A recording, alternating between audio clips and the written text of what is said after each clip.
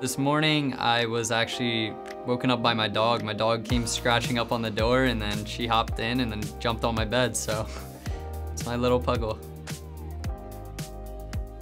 I usually wake up around either 12 p.m., 1 p.m., or 2 p.m. because I'm playing all night.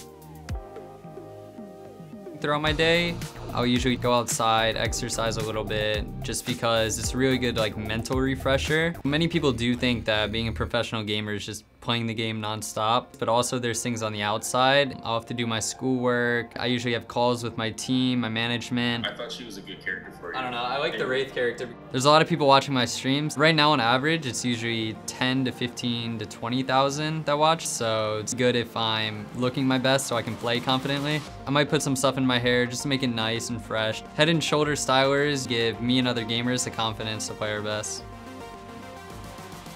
I enjoy interacting with my fans and just showing people like how I play the game and teaching them new skills. Probably my favorite thing right now.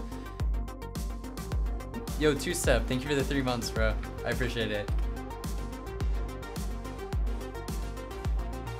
When you're playing the game 24-7, you get kind of tired sometimes.